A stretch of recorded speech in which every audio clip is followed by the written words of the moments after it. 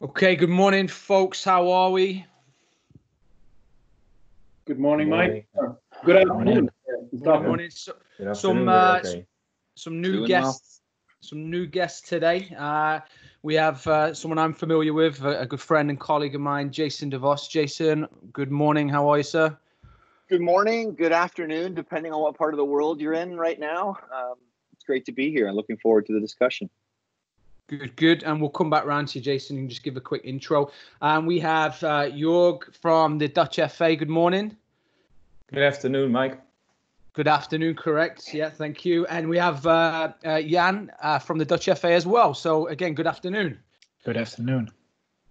So um, what we'll do is just quickly we'll start with Jason, just a quick little intro, um, just in case anybody's not familiar with who you are and what you do, and then uh, yeah, we've got a really fascinating conversation that we're going to have today, uh, more so looking at the the two federations and uh, kind of exploring what where their historical starting points have have um, led them to and from, and what we're trying to do to kind of maybe change some of the conversation within uh, player development. So we'll start with Jason.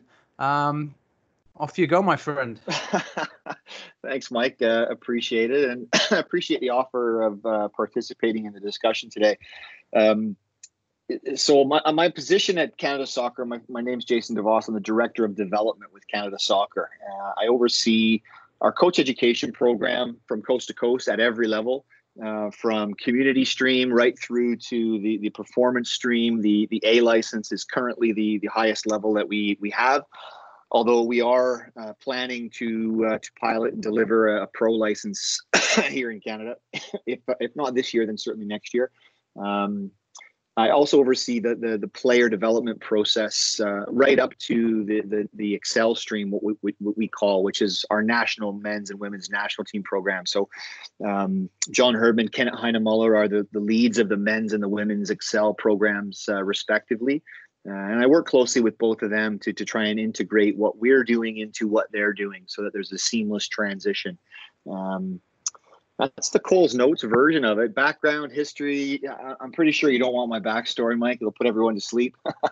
um, but I'm a former player. Um, had the the incredible honor of captaining my, our men's national team for five years, and uh, managed to uh, to have an 18 year professional career as a player and uh, and then transitioned to a role in the media. Uh, I worked there for eight years, uh, and then finally got to the point where I was tired of talking about changing soccer in Canada, and knew that I needed to get my hands dirty and and start walking the talk. And uh, this position came up. I applied for it.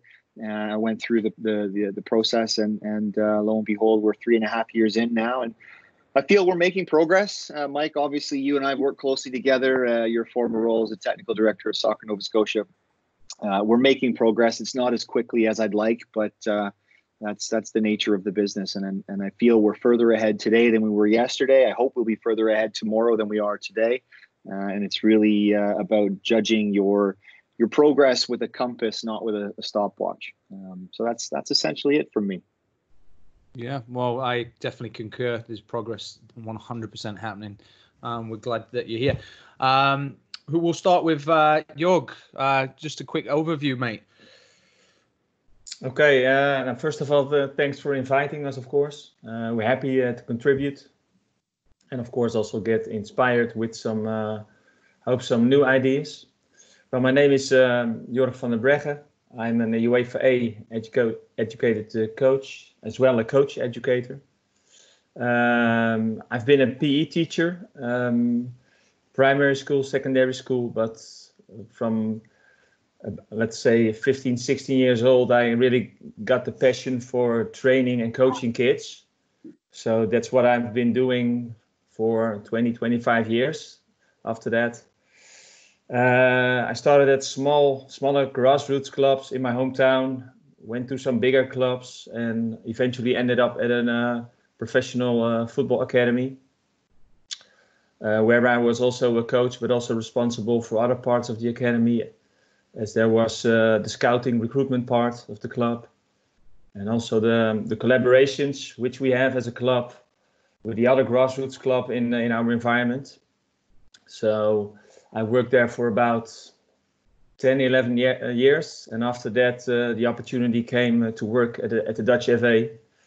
Uh, and that uh, was something what I thought would be really interesting because the influence we, you can have at, at, at the Dutch at Dutch FA in this case, uh, I thought that the, yeah that would give me a lot of more options to to influence influence the country in doing doing some things better and and um, I've been working there now for five years. I work at the football development uh, department, and we've done uh, I think a lot of good projects already. And yeah, we're in the middle of a lot of projects, and of course, um, like Jason already said, uh, yeah, you, you, want to do it uh, quicker, but yeah, it's it's a lot of it's not only uh, that uh, it's a lot of politics also. So um, I heard this Bastiaan from Willem II last week. He said uh, the FA is taking baby steps, and of course, I can imagine he, from his perspective, he's uh, he, he feels it that way. But um, yeah, it's it's quite difficult to make uh, uh bigger steps than baby steps. But we're gaining progress, and uh, it's really it's really a fun job. Yeah, no. Um, politics in football and soccer. That's that's a new one, isn't it? um, first of all, and before I go over to, to Jan, um, for a minute I thought your background was real, and now I've now just chimed in. It's actually cartoony, so that's awesome, by the way. Um, yeah, anyway, it's, uh, it's, a team of the day, uh, Mike. Uh, there you go. The, the, kids are going back to school, so I thought uh, we're done with homeschooling. Yeah. Um, Jan, welcome. Thanks, uh, thanks, Mike. Uh, as men- as Jorg uh, mentioned, thanks, thanks for having us. It's it's great to be part of this uh, this interesting di- discussion. I think. Um, in comparison to to you guys, I probably don't have that uh, much practical experience. My my background is more in academia. I I studied human movement sciences or sports sciences, uh, which I think in the UK and in the USA might be some kind of SNC coach. I think in Holland it's it's more like theory and yeah, it's more academically focused. So really doing studies, doing research. And in that uh, way, I joined the the Dutch FA five years ago um, as an embedded scientist or or a researcher, as it's called. Uh, yeah, working closely with Jorg the last couple of years, uh, doing some interesting projects. We we will uh, probably discuss in the in the coming uh, coming hour.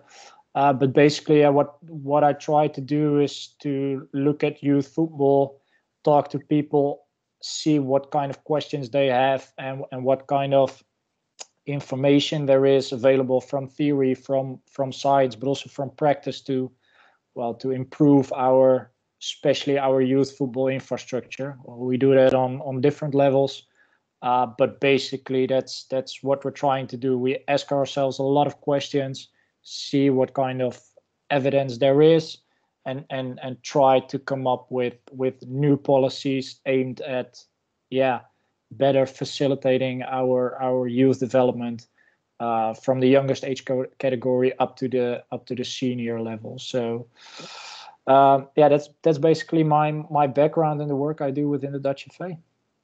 Brilliant, thank you very much. Uh, I'll check in with uh, the other two. Um, so uh, we'll start with Britain. How are you, sir, in uh, the US? Doing well. Um, you know, just taking it day by day. Uh, we had uh, some discussions with our governing body. You know, there's a little bit of pressure for uh, them to get back on the field from parents, uh, people sending anonymous emails uh, requesting that we, you know, allow the kids to play their seasons. And uh, I think they kind of underestimate the gravity of this um, this issue, and it's probably not, you know, run to the field and play games all across the state or probably a province where you guys are, um, and just kind of take you know slow steps in training. But uh, I think everybody's crossing their fingers for June here um, and things just going back to normal.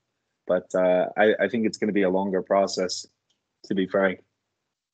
But yeah, uh, yeah every, everything's well. Hopefully, hopefully you guys are well as well. No, no, no. I uh, I concur. Um, Mark, how are you? I'm fine, thank you. Good afternoon, everybody. Uh, well, a uh, big uh, sunny greeting from sunny Stockholm. Yeah, we're um, we're training is normal. Uh, youth soccer kids, still, they've been training. Nothing has changed. Uh, the the league started last week, or the competitive games in Stockholm. So that kicked off last week. Um, lots of recommendations in general have have been followed, as in parents more or less are staying away from the game, staying away from training, and just leaving the coaches there to work with the kids.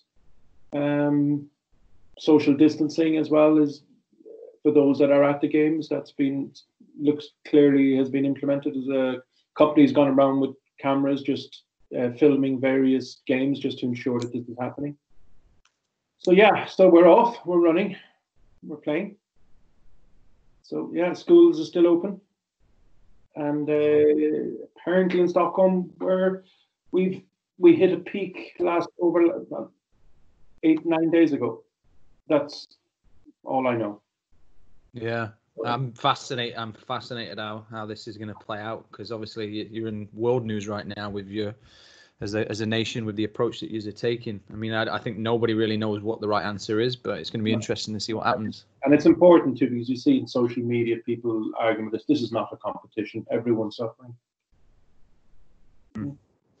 Yeah. Well, before um, before we get into the framework, which Mark I'll let you introduce. Obviously, it was uh, everyone knows that you know uh, being a Nova Scotian uh, or Brit in Nova Scotia, it's been a really rough uh, four or five days um, here.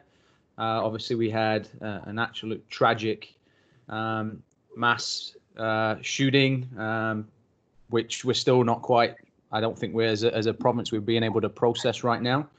Um, it's still uh, unraveling, and unfortunately, the body count is is still increasing. So it, it's strange because COVID has taken ten Nova Scotian lives, and then um, this madman has taken 22 in the course of a 12 hour killing spree. So for us, it's really uh, uncharted territories. It's not something that we typically um, would see here.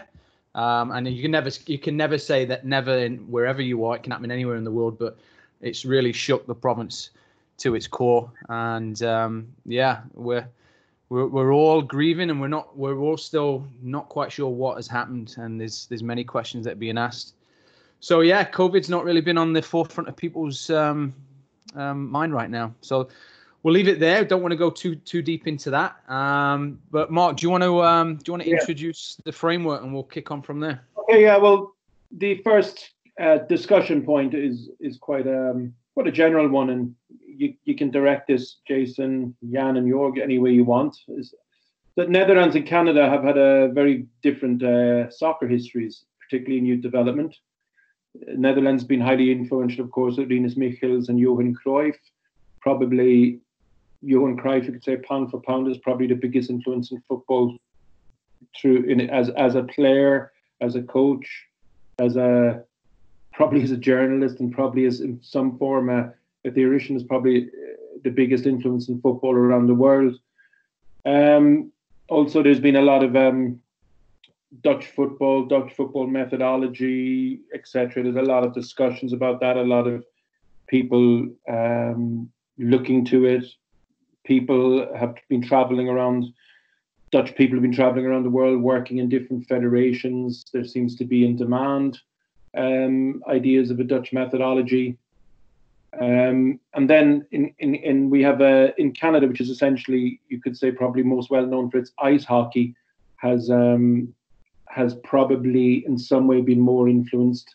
correct me if I'm wrong here by the uh, let's call it the pay to play or the economic model from USA, which has probably had a very heavily influence on, on how Canadian soccer is constructed, and also there's a very big expat influence also um, over the years and in youth soccer, etc. But despite the the very very different histories in youth football, some have been hailed as great, others have been questioned. Both associations are looking at within themselves, probably doing their own research within their own environment and asking questions. We need to do this better. There are things we need to change. And and I think that's a good starting point for any discussion. Why why are Canada and why are Holland changing? Why are you looking at looking to evolve what you're doing? Hmm? Leave that open. Whoever wants to start. Yeah, Jan, you want to go first? okay. After you. Uh, it's okay uh, for us to start, I guess. Uh, Jan, um, uh, help me out if you have any other information, which is. I uh, will. I will. Uh, first of all, I, I, I think uh, um, when you are uh, a national uh, association, that's part of your role. You need to be uh, progressive. And I know progressive is maybe an ugly word in, in football, but I think uh, that's need, that needs to be our, our role in the first place. It's always it's always good to ask yourself questions whether uh, the existing uh, systems, the interventions which we do, the products which we deliver to the clubs and the coaches, and the services we provide, if if that's uh, if that's still up to date, if that's if that's uh, cor- correspondent to the uh, let's say the latest scientific insights as uh, as well as uh, the wishes of the landscape. So we need also need to know what the clubs want from us, the coaches want from us, the children. So we think that's uh, that's always the baseline of a national association. But the thing is that we're hearing like there's a lot of uh, if you read social media, um, everything's great in Holland. Look, it's working. Like our national team is doing great. Ajax did great. Yeah, but yeah. Uh, okay. Okay. Yeah. no, uh, the the the sentiment I think three or four years ago was that it was all bad. Then our national team didn't qualify for mm. for the Euros and for the World Cup as well. So I don't think the sentiment around our national A team is the best indicator of how well we're doing within youth football. I think these are completely two different worlds. You got the professional senior men's and women's football, and then you you have youth football. Uh, of course, they they do influence each other, but yeah, th- these are these are two separate worlds for us looking at it from an from an FA point of view. Um, um, I, I I I agree with with Jorg that that we're really looking into the into the uh, efficiency and the effectiveness of our system. So it, it seems effective in that we that we uh, get the players that are capable to play at a certain level, but we also do feel the the the and we see the inefficiencies within within our system like relative age effect and, and things like that. And we, we we're trying to yeah just to ask ourselves question okay how can we how can we work out these these uh, inefficiencies? And and it also it all sounds a bit as i'm talking to you it all sounds like it's some kind of production line production line of players. That that isn't really the thing i I, w- I would like to to say talking to youth football but yeah it is it is in some way sort of a system um yeah which, which Yeah, we're continuously discussing. It's it very much it's been sold um, as a production line, yeah. Factories, and I personally find that very pl- problematic because that leads open to so many generalizations and misinterpretations. it and is Would you like to maybe speak about this from your opinions?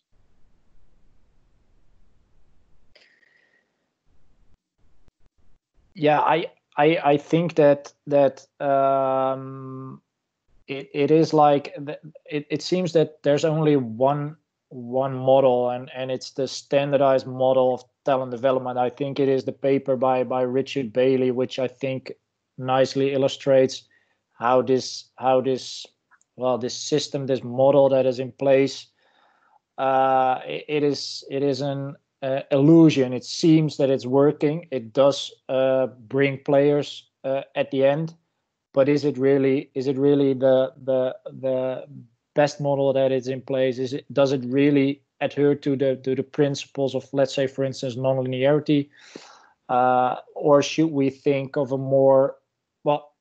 First of all, should we actually think of having a system in place? And if we do so, can we make this system more flexible, more into the the, the development of players, respecting the non-linearity of the players. Mm.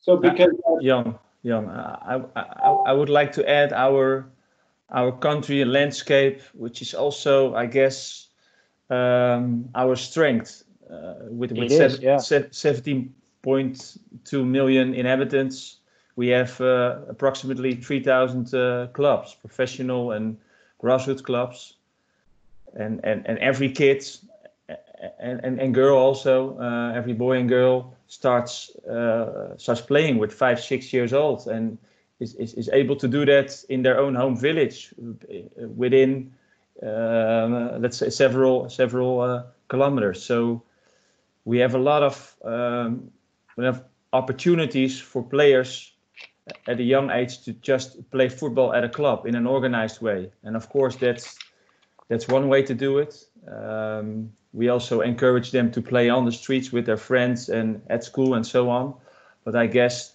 our landscape is uh, is a positive thing for us. Mm.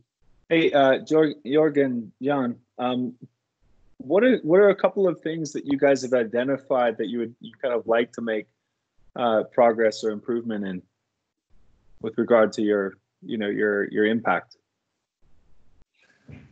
Yeah, uh, I would say uh, a lot, I guess. Not that we're doing a bad a bad job, but uh, it always can uh, we can make things always better. Uh, so uh, to yeah, maybe to, to, name some topics, we are uh, busy right now with the Equal Opportunities project. That's about the, the selection and non-selection of players at an early age, which started at, at, every grassroots club. So uh, of all those uh, approximately 3,000 clubs, every player gets selected uh, at an age of seven, eight years old. So um, yeah, we think there uh, there lies a lot of opportunities to improve that system because uh, there are a lot of uh, assumptions in that system which don't work in the end. So that's the, that's one of the things we are uh, busy right now. We also have a nice uh, discussion uh, in national media about the, the winning part of soccer, so winning a game or winning competitions. Um, where we say, of course, when children play a game, they play because they, they like it, but they also play the game because they want to win it. That's in a player and that's in every game. It doesn't matter if you're footballing, ice hockeying, or whatever. But the discussion we like to add to the whole uh, thing is um, does it matter uh, when kids are 10, 11 years old if you um, yeah, show the rankings for a season long and in the end of the season they uh, they are the champion or, or not? The, and and and what's the re- and what's uh, do they really like that if if they see the rankings? And um, what's the effect on the coaches and on the parents by hold uh, by uh, showing the rankings all all year long? So that's one of the discussions we are always uh, uh, we um, we are doing right now. So that's also an interesting one. Very good it comes it comes down to that um, with the standings, and I, I can only speak from a yeah. Canadian experience. Is you know that children compete, adults compare, and and the, the kids are yeah. fine with the table. It's the parents that really struggle, and be, again, not necessarily with our um, origin is we're quite a young footballing country, so you know our parent groups probably don't have the experience or expertise to know how their child's experience is going. So they naturally gravitate to tables, and that's how they compare whether or not their kid's having a successful um, experience, which I'm sure uh, Jace will maybe speak a bit more. Before we go to Canada, though, I've got a question for you folks because going back to the the historical nature of where you're at. So you're Johan Cruyff, obviously being you know you know revered as an innovator within you know development was he misunderstood uh, through time and with the copy and paste kind of approach or you know he was a big advocate of playing in the streets and you know solving the problems but where has i guess johan cruyff is it was he misunderstood or was he actually also maybe a little bit outdated with his methods, knowing what we now know? I'm just wondering what the overall vibe is in in Holland with that. Well, I don't think he was misunderstood. No. Um, actually, uh, if you look at our new game formats in the, in the foundation phase, uh, which Jan maybe can uh, explain a little bit more, which we've uh, done some extensive uh, research on. Uh, yeah, this also goes. It, it also goes back to to street football. So, I guess our game formats and the rules and the environment where it's uh, takes place. Yeah, it's really, I think it's really uh, on the vision of uh, in the vision in of, of Cruyff. So I think that's a good thing. But yeah, yeah, I, I agree. I, I don't think that that Johan Cruyff is in any way misunderstood. To be honest, I think he was quite ahead of his time, maybe without even knowing it, because his ideas and the ideas that the the the ideas we had historically within the Dutch FA actually align pretty well with uh, things like representative learning design and and uh, ecological dynamics. Um, I do think the the the difficulty is uh, that that if you try to to copy, let's say, the Dutch model or the Dutch way onto onto another country, it, it doesn't work because our our infrastructure is so unique. The fact that you can travel probably by bike in Holland to another club and play a match against uh, uh, someone who's more or less on the same level as you are.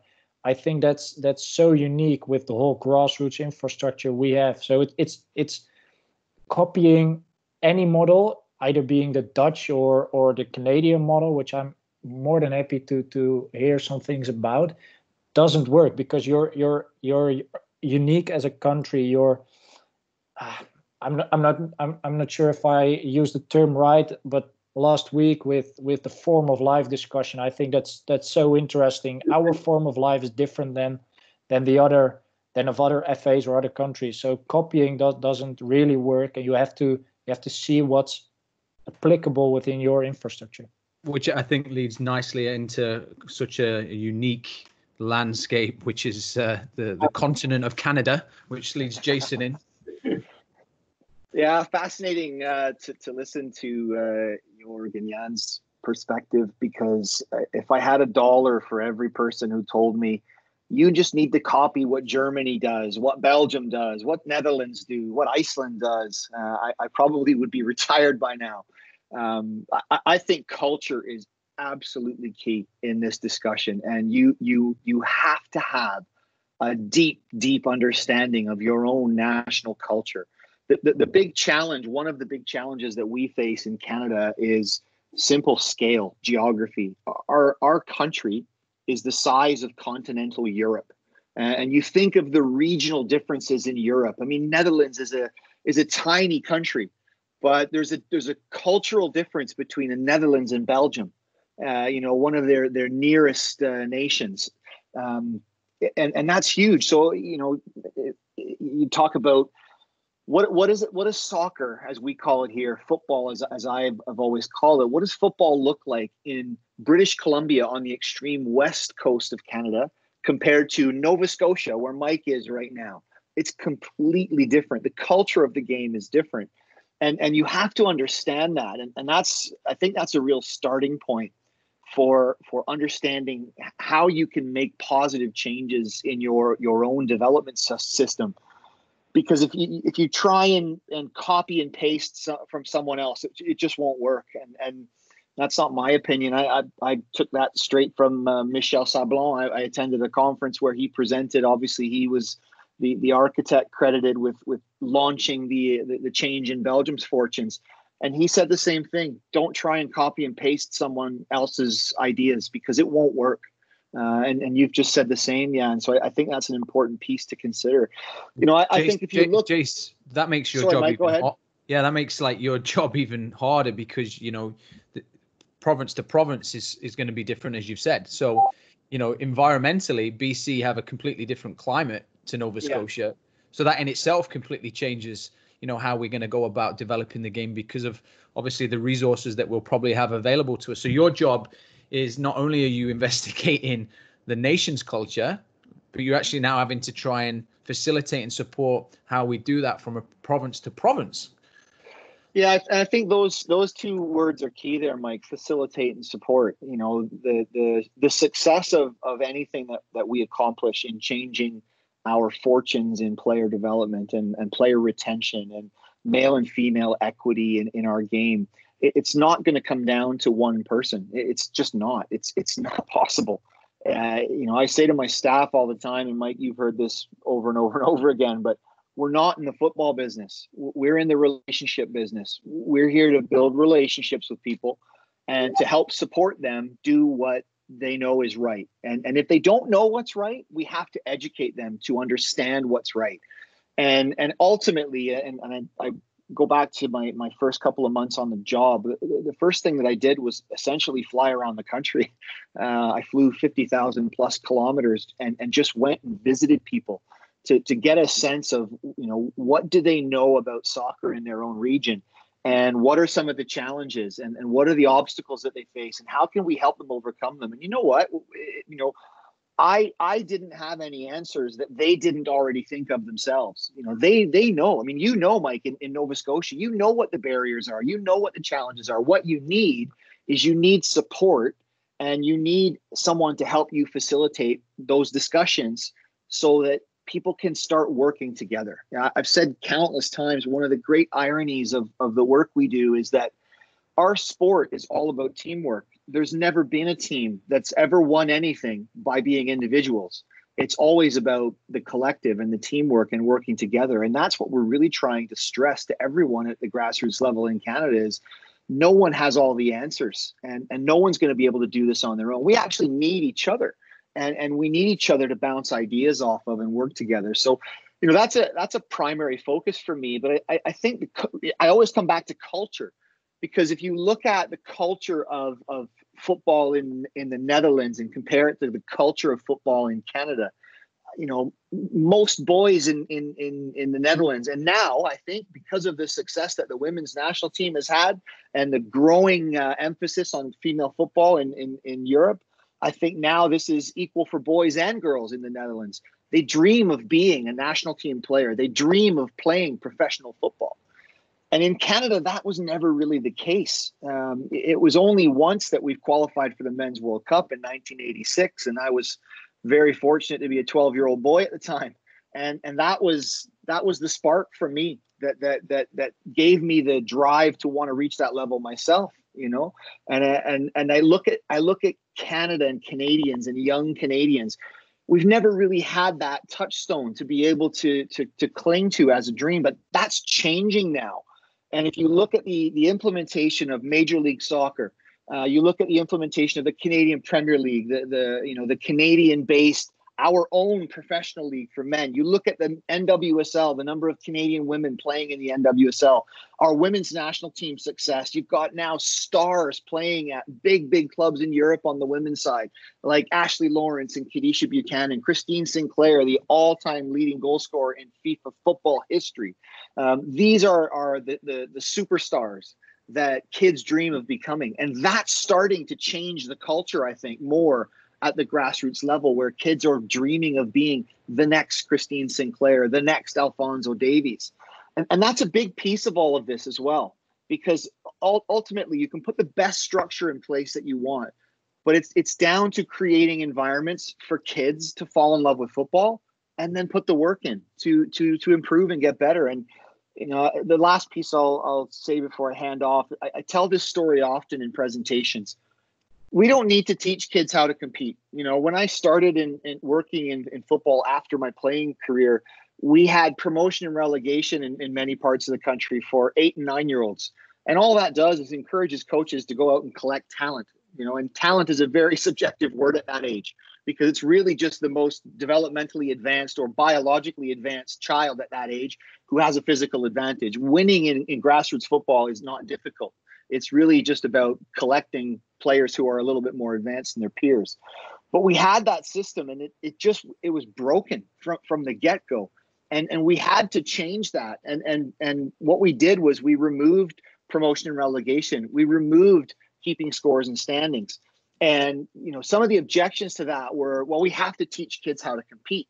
We don't have to teach kids how to compete. They know how to compete and and we see it every day and you know when when my kids were younger mike i know you've got young ones right now when they go to elementary school and they have recess they go outside and they play a game whatever they play when i was a kid we played what we called foot hockey, which was was basically soccer with a little tiny tennis ball, and we played it in the snow. And we would divide the teams up. And if one team was hammering the other team, guess what we did? We we swatch swap players. We changed the teams up. And if that team was still winning by a large margin, we would unbalance the team. So they would have four and we would have six. So there was no teacher involved in that. There was no parent there supervising. There was no one writing down the score and recording it and then tracking it on the on the school chalkboard to to see who got to play next recess period. You know, it just didn't happen that way. The kids would figure it out on their own. And, and I'm convinced, and, and many of you have probably experienced this yourselves as coaches. If you just set up a pitch and let the kids figure it out on their own, they will have a very competitive game on their own without our influence. And they enjoy that a lot more than they enjoy hammering a team 10 0 and winning a, a $5 trophy. That's not what matters. What matters is the competition, the, the, the, competing against their peers, having those social interactions and, and having a peer network that they feel a part of. And, and that's something that our previous competition model simply didn't support. It was it was an adult competition model superimposed into grassroots football. And that's what we're trying to change. But but that even in and of itself is very much a cultural change. And mm. that takes time. It, it, doesn't happen overnight unfortunately. Just to fall onto that jace you know if you think about covid right now what what are the kids missing? To just to make your point what are the kids missing? Connection connection. Yeah, yeah, they're not missing winning 10 0. They're not w- missing winning a trophy. They're not missing looking at the table. They're missing connection, being with their friend. I think right now, if you offered any kid any sport to play with their friends, they would take it right now. Yeah. So it's it's there. We just have to sometimes take a big step back and look at the core purity of what really sport is about. And yeah, uh, yeah I mean, I, have lived it, Jace. Um, you you you bang on everything you've said. Uh, there's not one thing I can disagree on one uh, one question I have, Mike, in in regards to that, and I was thinking about it uh, since yesterday because yesterday our government announced that for children up to the age of 12 in two weeks time it's possible again to to play football. Of course in a different situation than they were used to no games not everyone on the field at the same time. Also they have to figure out that the parents aren't all there together. And I was just thinking, and it's just an open question to, to you guys. I was thinking, okay, how does this COVID 19 situation actually changes the way we look at youth football? Because in a way, it, it it's probably now, okay, let's just give the game to them and just let them play without any formal games, without any competition in place, without any pressure to win because competitions are are stopped at least for the rest of this season. So I think at least that was my idea. We're going to see maybe yes, of course for all the wrong reasons, but we're going to see maybe some positive things evolve within within youth football right now just because of the situation that the adults actually should take a step back and give the game back to, to the children.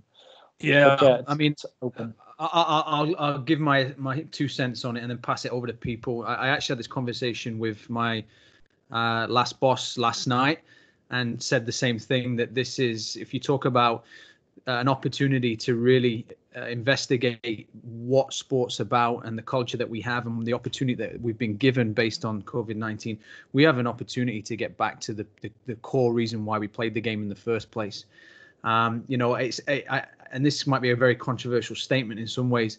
It's like COVID 19, as tragic as it is, and many people are going to lose their lives, it's like a reset. I mean, a reset for sport, a reset for like, I read something this morning like 60% of pollution is is now down in, in major, major cities, you know, and we were just ignoring all of the climate crisis, um, you know, so it's as if it's kind of making us it's fix us in some regards. It's hurting a lot of people, and it's a tragic situation that's happening. But there are so many um, opportunities that are going to come from this. And as I said to my last employer, I was like, if we miss this opportunity, like I just I'm I'm going to be at a loss, knowing what the research is telling us, knowing what the emotional and physical needs of children, what they need from us, and what we actually, unfortunately for osmosis, have built them. Um, it doesn't fit them. We need to let them build the model that fits themselves. Yeah, I agree. I think some good points there, and what's very important, it's a real. I think it's a really good opportunity for adults to reflect at the moment, and I really hope they do. I'm quite sure there's a lot of adults might actually even feel better about themselves being away from children's football, reflecting, and I think um, I'm I'm I'm really I hope something at least comes positive comes out of this. I think.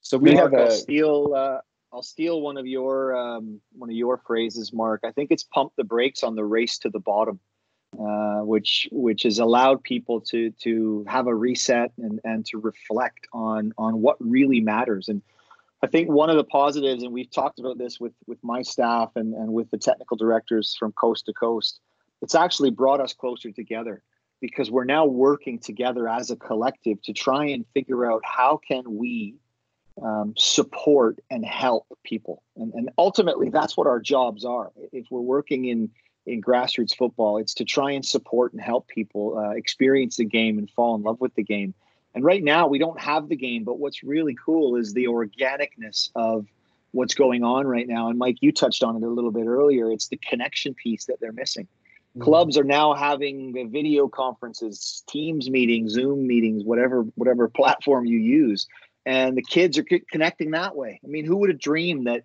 you'd have your under eights and under nines on on a uh, sitting behind a computer screen doing activities with their friends because they weren't allowed to go to the park. You know, it, it was un, unthinkable a month ago or two months ago, but now this is what they're doing because the, the kids are showing us what really matters to them. So mm-hmm. now the challenge that I that I put out to everyone is how can we change what we do so that we can better serve what they need. You know, the needs of the player have to come first. And if any decision that we make doesn't align to that sentence, the needs of the player come first, it's probably the wrong decision. And as adults, as the, the guardians of the game, we have to think that way. And I think more and more people are starting to realize this and they are getting on board with it for sure. Very good. Oh, I was going to add, um, you know, when when we're looking at uh, kind of rolling out again, I think what our what our state is looking to do is, um, you know, they want to jump back into this like you know normal league with travel and everything. And I think what we're going to be forced to do is uh, you know play games more locally and more regionally, which you know uh, you know kind of limits you to a to a few teams. So we might see uh, younger teams playing older teams in order to get those games in. And uh, I think that kind of fights this, uh, you know, this previous system where some kids are spending more time in the car than they are in a field. So I, I, I'm hoping to see some restructure and, and us to gain some insight from that as well. Mm. I think uh, just the, the conversations there from both um, Jan and Jorgen, the Dutch FA, and Jason in, in Canada, it's, it's kind of interesting. You both, even though there's, we could say it's very much a different football culture there, a lot of the issues you identify are quite the same like the form of premature professionalism that manifests itself in these early selection and deselection programs, this standard model of talent development and and um, kind of the adult um, the adult version of what competition is being being imposed down on children. I think it's it's interesting that the the issues we're dealing with are quite the same, but uh, I think that uh, even, even in two very, very different football cultures. So maybe I think this is a very much. I think maybe Britain, you can add some. Is this just are these your issues as well in USA? Would you think? Um, absolutely. I think uh, I think we're we're a little more populated than Canada, so we're a little bit closer together. But uh, the culture, you know, the culture is very different depending on the part of the country that you're in, mm. and uh, you know the culture you know five miles uh, south of me is very liberal and the culture that i'm in is super conservative. So yeah i guess when we're looking at you know governing bodies or you know directing clubs you know how can we you know afford everyone the benefits um, you know of participation? So you know what does our structure look like? Mm-hmm. and uh, i think that's that's the challenge is you know, accounting for all of the individual differences and you know, figuring out ways to support that. Uh, you know, to Jason's point, that's exactly what we're trying to do.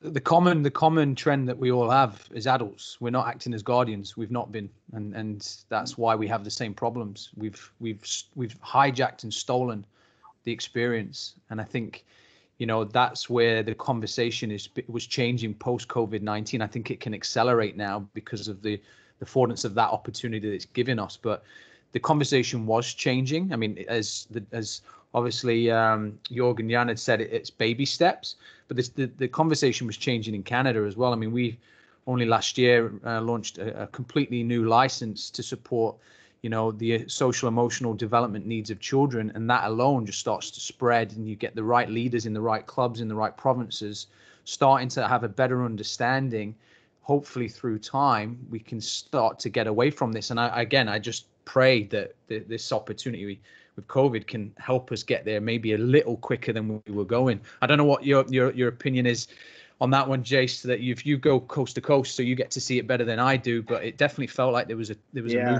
move. Yeah, it, it, it's it's it's uh, it's fascinating. It really has been, and, and you know the program that that Mike's referring to, club licensing program. Um, it's been a fascinating journey. Uh, Dave Nutt, um, one of my staff members who who leads that program, he and I joke about this all the time. We're going to write a book about this one day, and it, we've already got the title. We don't know what we don't know, and and it, it and that's what it is. I, I don't believe that any adults are maliciously steering the grassroots game in the wrong direction. It it it, it isn't that because one of the questions I ask in almost every presentation I deliver coast to coast, I start with this question why are you here? It's it's Thursday night at seven o'clock in the evening, and you're here on on a on a school night. Your kids are at home, and you're here. You got to work tomorrow. You're here listening to me talk about the development of the game. Why are you here? What are you doing here? What are you giving your time up for?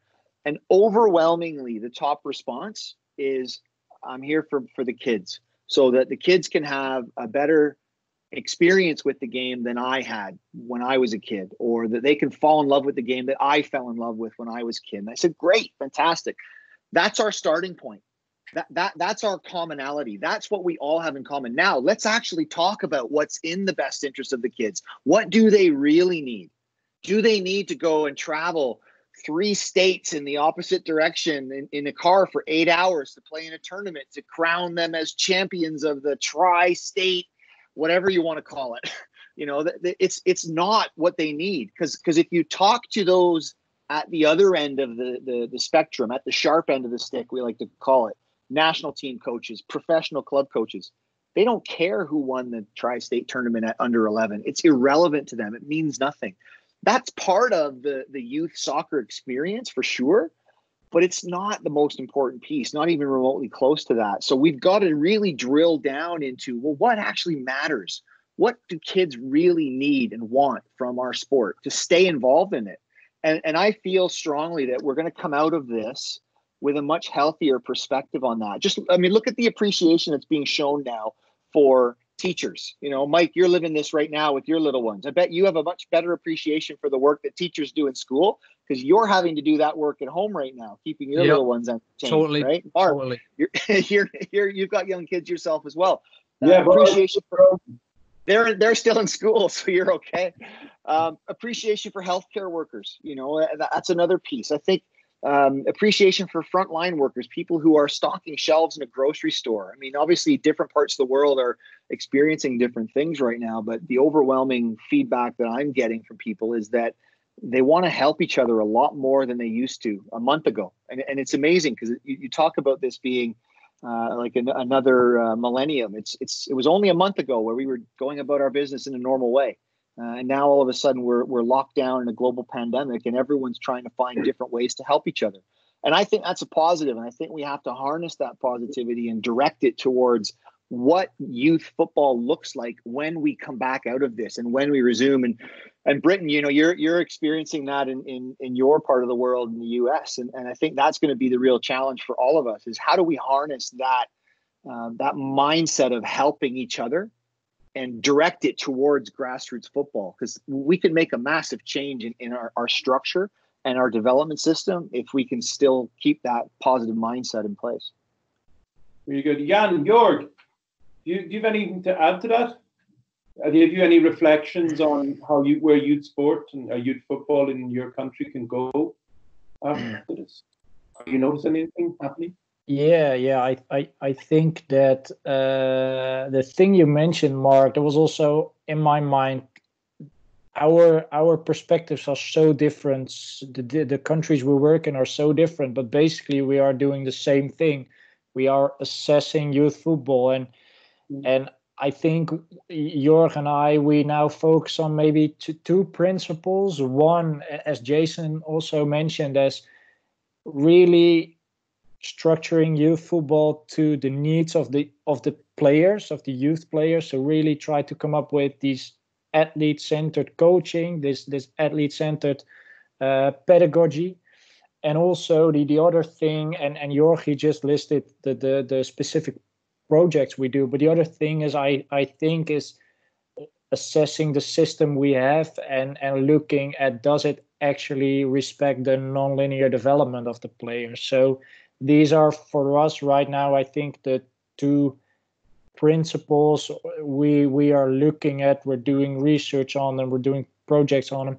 But it is, yeah, it, it is as, as you mentioned as well, Jason. It is a delicate process between are you going to regulate it with restrictions or are you going to build relationship with the people actually well, doing the work at the club. So do you want to educate them? Do you want to explain why it is maybe better to to do it in a different way? And i think you're you're actually uh, i think the the the example of of how from a coaching perspective the background you have actually talking to clubs within our our equal opportunities project how we try to not regulate things but educate people and then and then let them have a different perspective on what they're doing and and and yeah change change youth football to to uh, more based on the needs of the of the players yeah that, that's true jan i think um, we all have sort of the same system, uh, but the difficult thing, I guess, in, in our country is also that um, you could say we achieved some success with it, whatever that means. But uh, we produced, and produce is not the right word, but uh, there came a lot of good players out of that system. Uh, so there are a lot of people in Holland, uh, especially the people um, who used to work in that system, yeah, really do believe in that system. So it's really difficult for us to, to yeah, to show them that there uh, are a lot of things probably which can uh, be, be done better. So um, we have a, isn't this connected yeah, yeah. quote from um, I think what's the name Alois Alois Weinker, yeah. I think uh, that club act out of fear. If we don't do it, someone else will do it. Yeah, that's what Alois said. Alois is going to be our new um, colleague within the, the Dutch FA. Uh, so he, he's done an interview with with Michiel, uh, and uh, he said a couple of uh, good things uh, which are happening. So uh, yeah, the the, the, the quote touching on there is that clubs will if we don't do it then somebody else will yeah th- that's what's happening uh, uh, when i talk to uh, professional academies uh, who uh, most of them start at the age of uh, under 9 under 10 a couple of them also starts earlier. Yeah that that's one of their reasons why they do it because and that's also um, geo how do you call it geographically given situation because when I walk out of the, uh, my front door and uh, I drive drive for let's say 50 kilometers, I pass by six, seven professional football academies. So th- there are a lot of players in that area that have a lot of options. So the professional academies they uh, yeah they are fishing in the same pond I would say. And uh, what Alois said was a, was a good thing I guess because um, um, he, he said something like the you, you never know of course you can get a player earlier than another player uh, than another club and maybe you get the right one but that's the thing you never know if you're going to have the right one certainly not at that age. So why are you doing what you're doing? Um, so yeah, that's a really interesting situation. But uh, we see quite a positive trend right now, uh, in which uh, those academies are uh, quitting the under eight, quitting the under nine, quitting the under ten, and uh, within that positive trend, we also try to um, uh, stimulate that situation. So one of the things we are discussing right now, which I hope we're going to start that not in the next season, but in the season after that, so all the professional academies can prepare for that situation.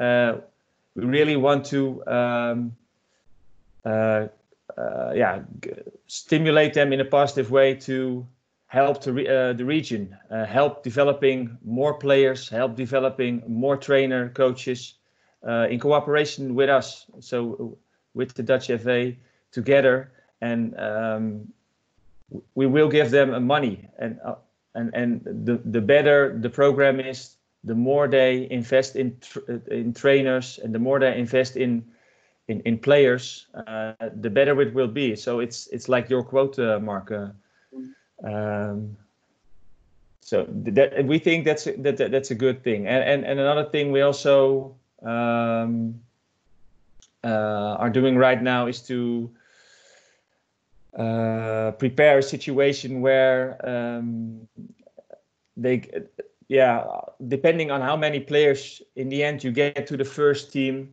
you also get uh, money from the from the Dutch FA. So uh, we know there are a lot of clubs who are doing a lot of good things, but in the end, uh, it also comes down to uh, getting players in the first team. And um, yeah, the, the the academies who would will uh, achieve that they have more players in the first team, they, yeah, the, we're going to stimulate that. So they're going to have some more uh, money from us. So that, that's that's uh, we think that's that, that's a good thing. And Alois is gonna is gonna be the the guy who's gonna uh, be a part of this uh, this project. what would his title be?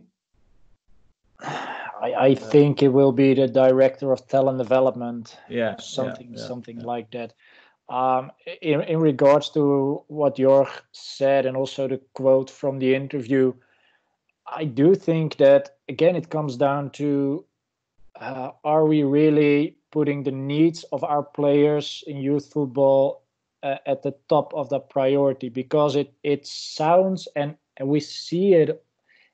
I mean if not the one club will take him or her, then the other club will take him. Like it, like it's some sort of product or or or a thing you you own as a club. It isn't like that. It is you're you're a player and you should nurture the player. So I think it is very very um, yeah important to to not see those players as as project products you need to develop and you get you get some sort of transfer fee out of them. I need we need to think back and look critically at our youth football and and put the the needs of the players first. The player isn't some kind of product you own and you develop and you get some sort of money afterwards. No, it, it's about the, the the the player and and putting putting the right pedagogy in place. And I think Mark, the work you're doing with with AIK, well, Jorg and I, we've we've been there. Is actually actually a great example of how how you can achieve this in, in practice, putting the putting the atler, athlete at the center of your coaching and and build a whole system around it to actually uh, well uh, nurture the player in the right learning environment. Mm. Yeah, I think it's um, a very common thing because I've been working with Jason, Mike in Canada, Britain as well in USA, and I've had you guys up in Stockholm, and, and really just getting back, it gets back to what Jason says. It's very much down to relationships.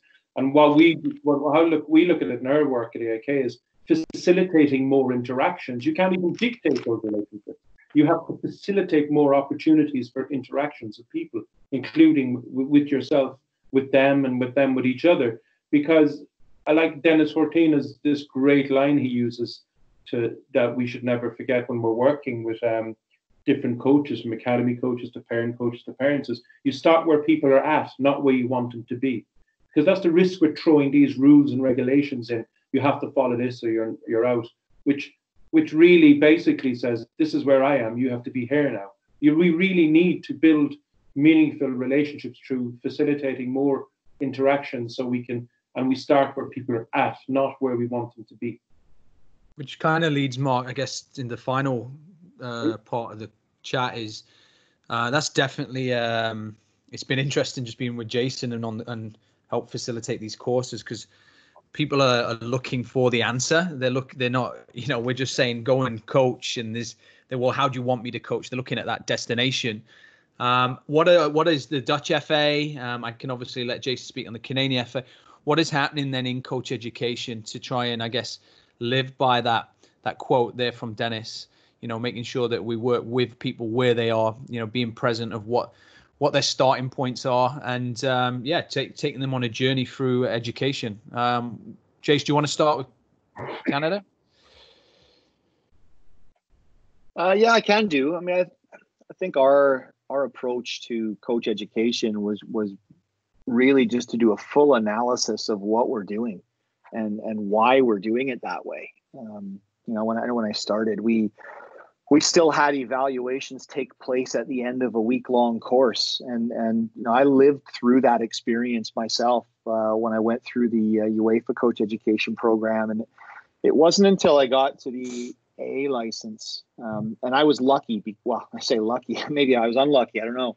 But uh, in the in the in the first week of the A license uh, we were all told collectively that UEFA were in town to evaluate the Irish FA delivering the UEFA licenses. So uh, one of the coaches on the course had to um, had to do their evaluation tomorrow, the next day.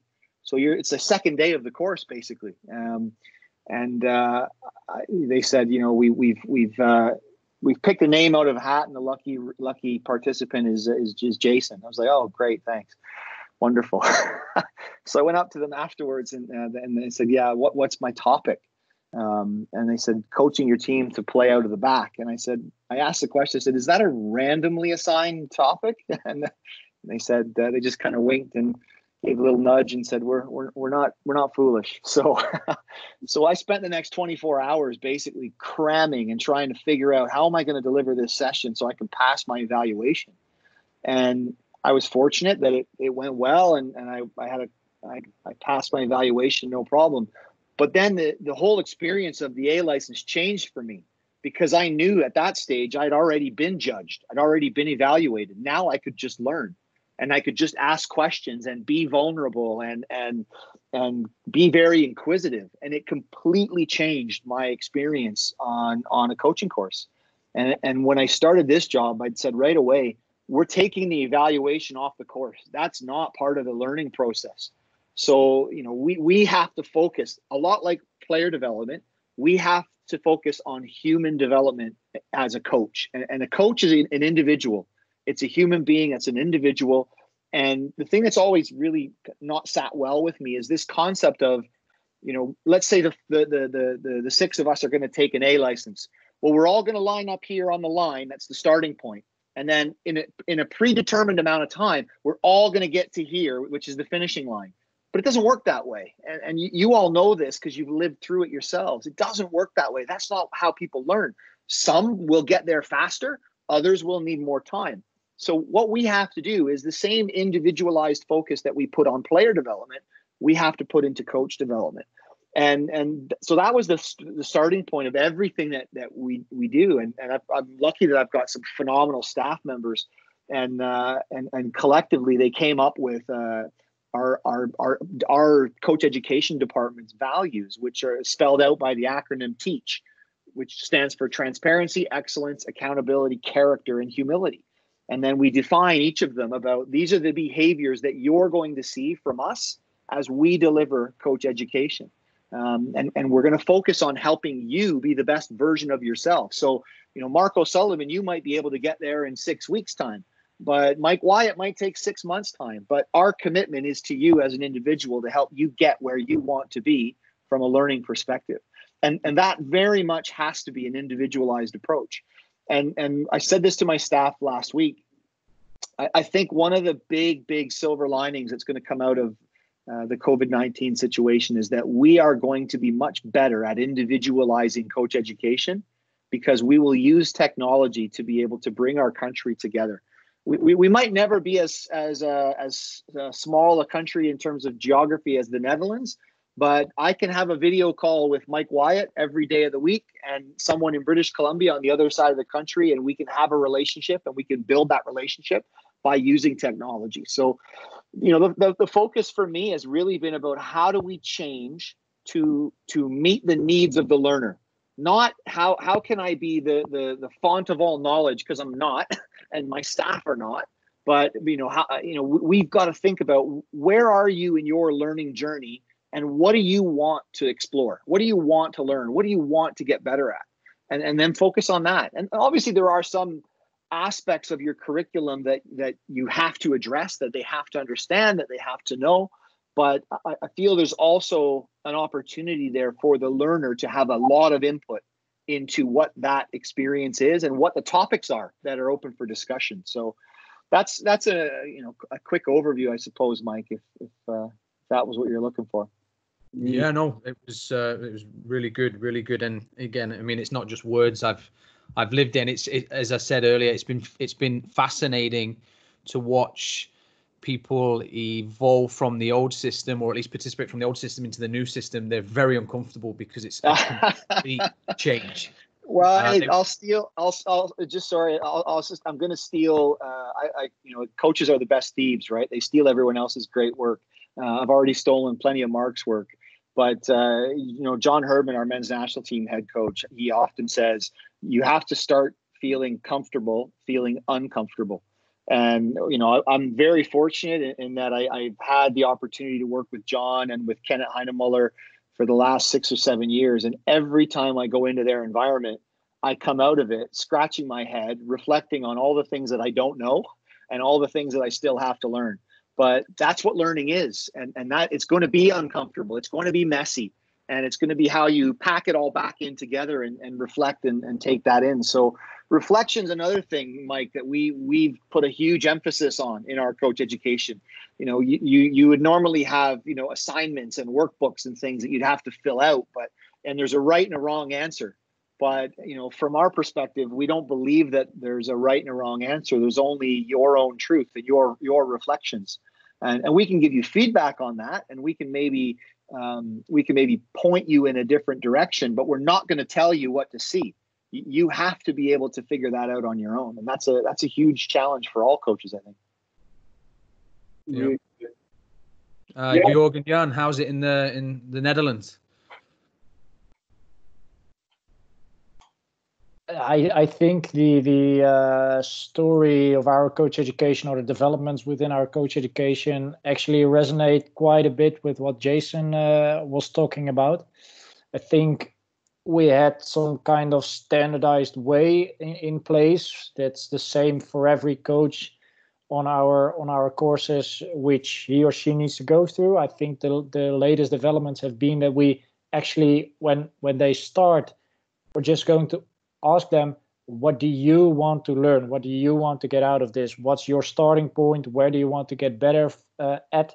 Mm-hmm. so start with some reflection and then individualize the the course to to their needs. So i think that's that's being done right now at at the at the highest coaching levels. And of course Jorg, you've been you've been involved i think or you are involved within one of the major developments on the on the um, starting uh, coaching license with with the idea we we have right now with well actually if you want to get into coaching you should at least get some sort of i don't know a knowledge about development how children develop etc. But you can maybe elaborate on that. Yeah, that's that's right, Jan. Uh, um, yeah, because and, and I guess that that's uh, in Canada and the USA the same situation. We uh, every year we have approximately uh, seventy thousand new uh, coaches, and most of the time uh, these are fathers, mothers, but they're all volunteers, and they with with the best intentions they uh, going to coach a team. So we think it's really important that uh, those people uh, that, that, we help those people and uh, and uh, like Jason uh, also said, we, we start with a with a self reflection. Um, the course, well, it's not really a course. It's it's as well online, individual, as um, a practical moment because we believe coaching, training is a practical thing. So although it's a small uh, course, uh, we need to get them on the pitch. Um, so we think it's good that every person who is with a team of young children on the pitch has uh, has followed this course, and we call it the level zero course. Uh, and they also need to uh, have a, a, statement of conduct. I guess it's what it's called. Um, and it's all based on um, knowing who you are coaching. Uh, who, who, are those children? Um, how do you um, uh, build a relationship uh, with them? How do you give them uh, autonomy? Uh, how do you can make them feel and get better in in sporting uh, in in football with each other? Um, so uh, that, that's one thing we, we're trying to develop right now, and we're probably going to start, depending on the, the whole COVID situation, at uh, January 21, otherwise uh, September 21. And we hope that this is uh, is going to help us out by also making um, making this difficult job um, because we also see a lot of, of dropout of coaches uh, they start enthusiastic, but uh, down the road, it's yeah, it's it's quite a difficult job. So we also try to help them um, and hope that they will uh, remain at trainer coaches.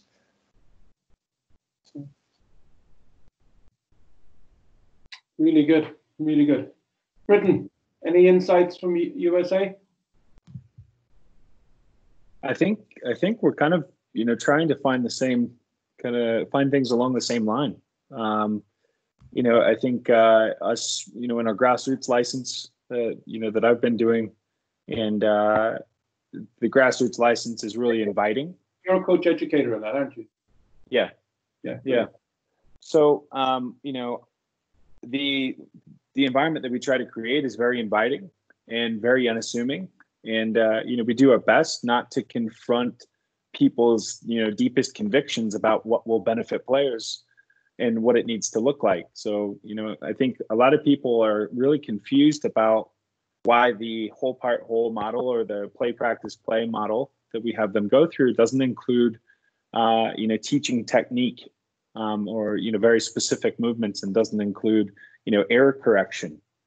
And uh, they're kind of wondering you know, where is it that they they can fit that in? And you know rather than telling them oh it has you know no bearing on the game whatsoever we we talk to them about okay well what are you trying to get and uh, you know really having them uh, look for some of those skills and techniques within the game. And uh, you, you're you're now guiding right? You're not you're not prescribing. We have a framework that they that they're working from but uh, we ask them what is it that you're trying to get? Uh, you know, what response do would you like, you know, from the players, and what kind of environment would you like them to be a part of, and then have them assess, uh, you know, the whole part whole model or the play practice play model with actual children, and you know, get uh, their observations. So, I think uh, I think it's a good it's a good start, and everybody's coming from a little bit different perspective. Obviously, they're blending their experience uh, with what's in front of them and what they're observing currently. And then we're really pushing reflection as well. Um, and you know that reflection is focused on, you know, how did my training session go? You know, how did the kids respond? And then that reflection is somewhat based in, you know, my own behaviors as a coach. and uh, really, I, I guess we're trying to help them along and kind of facilitate more self-organization and bi-directional learning. You know, like we talked about in you know previous discussions. So uh, I think going in the right direction, but I still keep hoping that you guys in the Netherlands are going to figure it out, so I can just copy your model and plug it in here. you guys do the, the hard work for us. then then we want the same dollars as Jason was talking about. Then it's fine. yeah, there we go. Great. All right, Mike. Anything to add before we finish up here? No, just want to thank um, Jason, um, uh, obviously the lads from the Dutch FA as well. Um, I think it's great. I think hopefully a lot of people from all over uh, the world here will be listening. Um, obviously reflecting, maybe even a little bit of comparing. I think the key here is, you know, whatever each you know country is doing, there's a reason why they're doing it based on their, you know, uh, cultural constraints, and it's you know it's about really just reflecting on what it is we do and knowing who we are, and then starting to obviously think about how we can maybe make uh, an environment that's more um, relevant for kids. Um, as I said, I, I hope people that are listening um, can really start to take this time because it, it's time we're not going to get back to think about how we can make a difference with the landscape of youth and child sport because um, we've been given a, an opportunity here. Uh, I just I'd hate for us to um, to lose out and, and, and go back to something that's it's identical to what it was. Uh, I don't know any other comments from anyone else before um, we wrap up this ramble. No, great, great discussion. Thank you guys. Yeah, thank yeah. you very much, everyone. Thanks, yeah, everyone. I pre- no, appreciate no it. It was a good chat. Good chat. Mm-hmm. Keep working. Keep pushing. Keep keep uh, keep challenging the status quo, and uh, more yeah. more most importantly, stay safe. Keep your family safe. Yeah. Yeah. Cheerio, guys. Keep up the good work. It's it's great to to listen to these uh, things every week. So it's uh, it's been great to to be on and uh, and yeah, keep up the good work. Yeah, thank you. Thanks, Jan. All right.